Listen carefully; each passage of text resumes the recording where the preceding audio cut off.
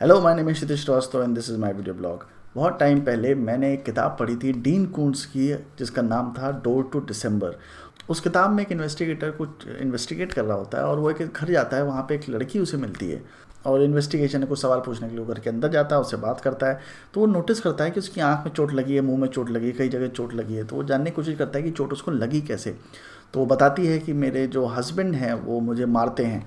तो उसे बुरा लगता है, वो कहता है कि मैं आपके हस्बैंड को अरेस्ट कर सकता हूँ डोमेस्टिक वायलेंस केस पे अरेस्ट कर सकता हूँ उन पर धाराएँ लगा सकता हूँ। तो वो मना करती है, कहती है कि वो मुझे मारते हैं मेरे ही कहने पे, मेरे इंसिस्टेंस पे वो मुझे मारते हैं। तो वो समझ नहीं पाता है कि ऐसा क्यों करते हैं। तो बताती है कि मैं थोड़ी सी मेसोकिस्टिक हूँ नेचर की, जिसकी वजह से वो मुझे मारते हैं। तो जब मैंने पहली बार ये मेसोकिज्म के बारे में पढ़ा था तो मुझे बड़ा अजीब सा लगता था कि क्या चूतियापा है? मतलब कि कोई आदमी पिटने पर या मार खाने पर क्यों खुश होगा? तो फिर अगेन मेरा जो क्यूरियस नेचर है, मैंने उस पर रिसर्च करनी शुरू करी। तो मुझे पता चला कि एक अलग दुनिया है, जिसको कहते हैं बीडीएसएम की दुनिया। तो बीडीएसएम की दुनिया जो बेसिकली बीडीएसएम का फुल फॉर्म है, पहले मैं आपको ये बताता हूँ। BDSM का फुल फॉर्म है bondage domination sadism masochism bondage domination तो आपको समझ में आता है कि जो कि नॉर्मल है। बॉन्डेज मतलब बांधना किसी को डोमिनेशन मतलब किसी के ऊपर डोमिनेट करना। उसके बारे में हम डिस्कस नहीं करेंगे। जो दो ये शब्द हैं सेडिज मेसोकिज्म इसके बारे में हम थोड़ा सा डिस्कस करेंगे कि ये बेसिकली है क्या। सो सेडिज्म का जो ओरिजिन है वो एक ऑथर के नाम पे हुआ है जिसका नाम था मार्क्स डी सेड और मैसोकिस्ट का जो जन्म है वो भी एक ऑथर के नाम पे हुआ है जिसका नाम था लिनार्ड फ्रांसेशर मैसोच तो मैसोक जो था वो बेसिकली एक आ, ऐसा पर्सनैलिटी था जिसको पेन में अच्छा लगता था। वो लड़कियों को इस लेवल पे प्रेस करता था उनको पसंद करता था कि उनको गॉडेस की तरह ट्रीट करता था और वो लिटरली उसने एक लड़की को प्रपोज करके ये बोला था कि मैं तुम्हारा स्लीव बनना चाहता हूँ सर्वेंट बनना चाहता हूँ। और वो उसका सर्वेंट बना बहुत टाइम तक और उस पर उसने किताब लिखी जिसका नाम था वीनस बाई फर जो किताब बहुत पॉपुलर पॉपुलर हुई और उसमें जो एक्सपीरियंसेस थे उसके, उस लड़की के साथ, कि जैसे उसने स्लेव की तरह, एक विलिंग स्लेव की तरह उसके साथ अपनी ज़िंदगी बिताई, उसके बारे में वो पूरी किताब है और वो फ़ेमस हो गई।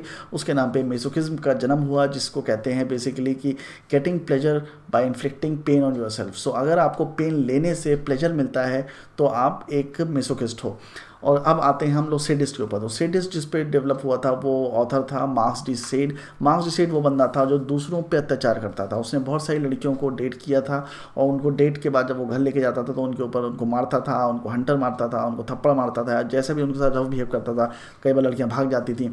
मार्क्स डी सेड वो आदमी जिसने अपनी आधी ज़िंदगी जेल में बिताई है और उसने बहुत अच्छी किताबें भी लिखी हैं। मतलब मार्क्स डिसाइड की अगर आप राइटिंग पढ़ोगे तो बड़ी इंटरेस्टिंग लिखता है और बहुत ही इंटेलेक्चुअल बंदा है। उसका एक उसका एक राइटअप है जो है कि a dying a dying prisoner and the priest वो मुझे बहुत अच्छा लगता है राइटर क्योंकि उसमें लाइफ के एग्जिस्टेंस पे उसने बहुत अच्छे सवाल उठाए हैं, बहुत अच्छी थ्योरी दी है उसमें। तो राइटर के तौर पे वो बहुत इंटरेस्टिंग आदमी था, पर एज इंसान के तौर पे बहुत घटिया किस्म का आदमी था, क्योंकि वो दूसरों के ऊपर काफ़ी पेन इन्फ्लिक्ट करता था। And that was his nature अभी आपने कई बार देखा होगा कि कुछ बच्चे होते हैं मेढक को पत्थर मार रहे होते हैं, चीटियों को मसल रहे होते हैं या कुत्तों को लात मार देते हैं। उसके पीछे कोई रीज़न नहीं होता मतलब कुत्ता ना उनको परेशान कर रहा है, वो मेढक उनको परेशान नहीं कर रहा, वो चीटियाँ उनको हार्म नहीं कर रही, बट आप फिर भी उनको मारते हो, और उसको मारने के बाद वो लोग हँसते हैं। अब ये बच्चे को किसी ने कुछ सिखाया नहीं है तो बेसिकली ह्यूमंस जो होते हैं, वो या तो मेसोकिस्ट होते हैं या सेडिस्ट होते हैं बाय नेचर से। ज़्यादातर लोग सेडिस्ट होते हैं बाय नेचर से, क्योंकि उनको दूसरों को पेन दे के अच्छा लगता है। कई बार होता है ना कि आप कोई बंदा बैठा हुआ है, आपका कज़न बैठा हुआ है, आप उसको ज़बरदस्ती परेशान करते हो, वो जितना ज़्यादा परेशान होता है, आपको उतना ज़्यादा मज़ा आता है। So that is basically an example of sadistic behaviour और वो बहुत छोटे से बिहेवियर है पर आपके अंदर वो बहुत ज़्यादा डेवलप हो जाते हैं और आपको पता नहीं चलता है और समय के साथ वो निकलते रहते हैं। कई बार आपने सुना होगा कि पति रात में घर आता है, पी के अपनी बीवी को मारता है। तो वो मारता इसलिए नहीं है क्योंकि वो अपनी बीवी को मारना चाहता है। वो मेरा मारे भी अपनी लाइफ चला सकता है, पर वो रोज़ रात को इसलिए मारता है क्योंकि उसका नेचर सिडिस्टिक हो चुका है और बीवियों को मार खाना कई बार अच्छा लगता है। अब ये सुनने में आपको बड़ा स्टूपेड लगेगा, पर दैनिक जागरण में एक सर्वे निकला था बहुत टाइम पहले। उस सर्वे में लिखा था कि एट्टी औरतें ये मानती हैं कि उनका जब पति उन्हें मारता है तो उनको अच्छा लगता है।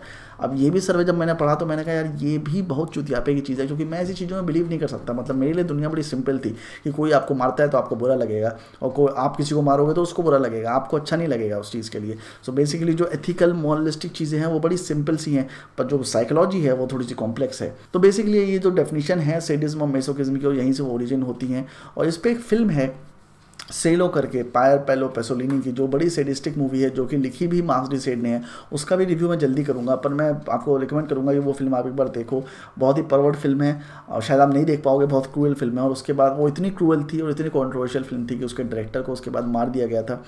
पर ये जो बेडियज़म का कॉन्सेप्ट है और ये जो सेडिज मेसोकिज्म का कॉन्सेप्ट है ये अंडर वर्ल्ड में बहुत ज़्यादा चलता है और ये एक ऐसी चीज़ है जिस पर ना कोई लॉ है ना कुछ है और ये चल रहा है। मतलब ये आ, बहुत सारे फेस्टिवल्स भी होते हैं। मेरे ख्याल से जर्मनी जापान में बहुत सारे ऐसे फेस्टिवल्स होते हैं। एक अंडरग्राउंड वर्ल्ड चल रहा है जहाँ पे इस तरह का धंधा कैरी किया जाता है जहाँ पे लड़कियाँ जो हैं लड़कों से पैसा लेती हैं उनको अपना स्लेव बनाती हैं।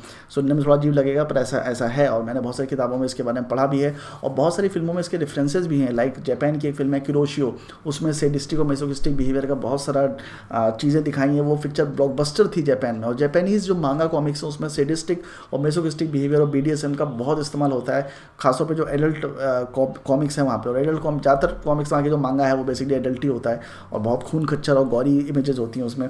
उसके अलावा अगर आपने कॉन्टेंट टेरेंटिनो की शुरुआत की फ़िल्में देखें तो आप देखेंगे कि कैसे उसको फीट फेटिश होता है। तो फीट फेटिश भी एक टाइप का मेसोकिस्टिक बिहेवियर है जिसमें आपको किसी के फीट अच्छे लगते हैं।